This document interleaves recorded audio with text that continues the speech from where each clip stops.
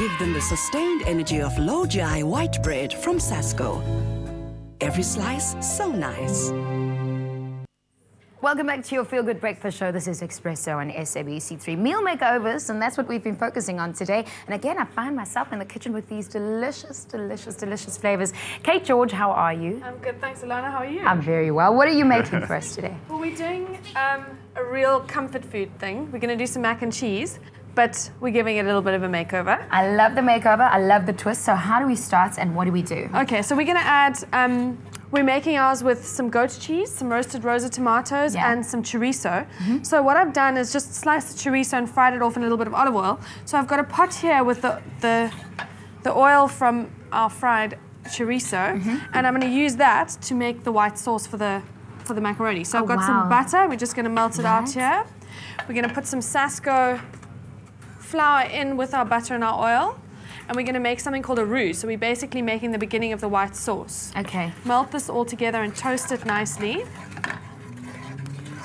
And I see you kept the sauce, and that's probably because it belongs to the same family, I guess. and You're going to put it all together. Yeah, and what it means is it's just going to make give our white sauce this really rich, nice, smoky papri- paprika and chorizo flavor. Well, I can smell it already. The uh, completed product looks amazing, and I'm sure it tastes really good too. I'll ask the rest to give us a taste shortly. Of course, we will also give you the link to the recipe so that you can recreate this at home. What happens next? Okay, do you want to give that a little stir? No problem. while I'm while you're doing that, I'm just going to add. I've got some chopped onion I've just that I've just put in with our cooked pasta. Um, some roasted rosa tomatoes, which we're just going to put in here as well. Um, and then we're just going to sprinkle some goat cheese over. This is that- this- yeah. This, is the herbed one, which is quite nice because it's got a bit of extra flavor. So we're just going to pop that on there.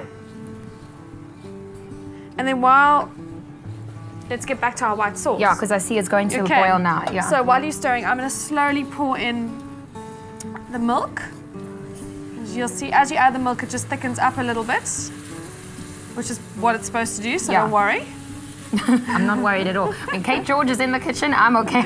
Okay, cool. So that's, and then we just slowly add our milk in, mix it together. We're using a wooden spoon. If it starts getting a bit lumpy, you can always use a whisk just to take right, to any take care of it. out. Okay. Um, yeah, we'll just finish this off. Okay, and then I've got a little bit of white sauce that I made a little earlier, and we're just going to finish that off. Um, I'm going to add some cheese to it. Lovely melted cheese. You keep it grated. Yeah, just grated cheddar.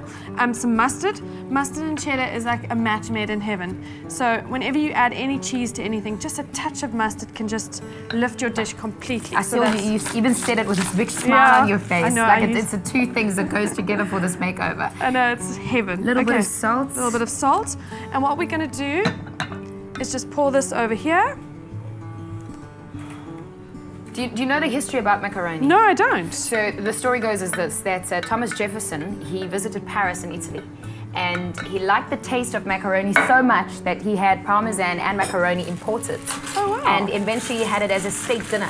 They used they used a macaroni pie uh, for dinner, and that's where it comes from. How fantastic. I had no idea. Oh, you're using Sasko bread. Yeah, so Tell what we're going to do is we're going to just, just to give it a little edge, we're going to make, give it a crunchy bread topping. It's so versatile, hey? Like Yeah, you can use it for everything. I mean, beyond a sandwich, um, it's quite fun to do. For this, it's really nice because it adds a crunchy texture to the top.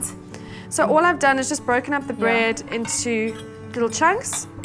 I'm gonna add a little bit of olive oil to it. You can add the olive oil if you want or not.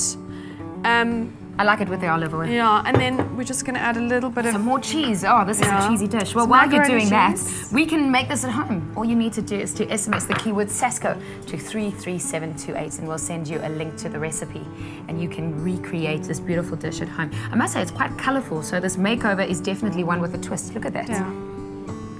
There we go. Put it all together and then more cheese. We stick it on top. Yeah, we're gonna pop some cheese on top. And how long do we leave it in the oven for? Um, just until it gets nice and golden. It'll probably take about 20 to 25 minutes. Okay, because it's most of it's fairly cooked, right? Okay. Absolutely, it's just heating through. So that keyword again, it's Sasko to 33728. 33728 and you can recreate this at home and get a link to the recipe. I added more I added more um, more cheese to your dish.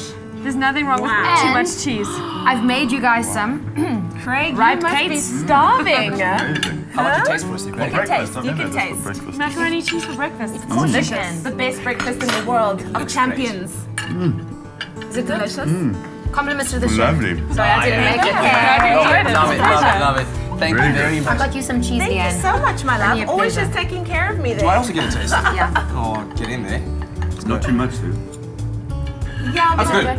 Yeah? That's really, really good. Thank you, Mhm. Kate. Pleasure. Thanks for having me. Breakfast is served. Um, it's gonna be crazy when the cameras go off, so we might not see you tomorrow. No, of course we'll see you tomorrow. we we love love you, South Africa. What is this? Have a great day, guys. See you tomorrow. Same time, same place.